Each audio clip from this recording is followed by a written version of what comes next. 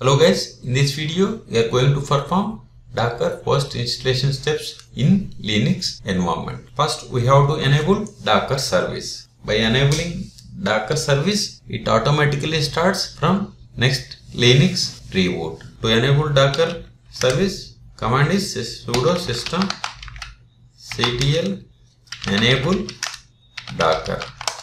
Now verify Docker service.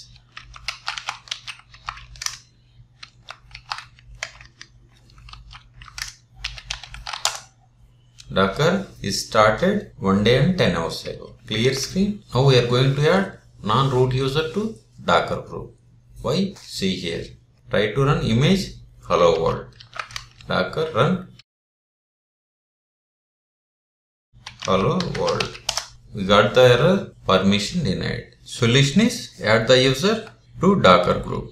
Let's verify this user added to Docker group or not groups then r2 groups see this is the user added to these three groups. Now we have to activate changes made to groups by using command new grp that is group docker. Here docker is the group name. Now try to run hello world image. Docker run hello world. See, we have not received any error and we have successfully ran hello world image. Suppose if you want to restart Docker, then use the command sudo system ctl restart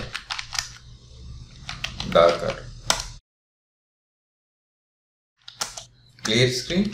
Let's verify Docker started time.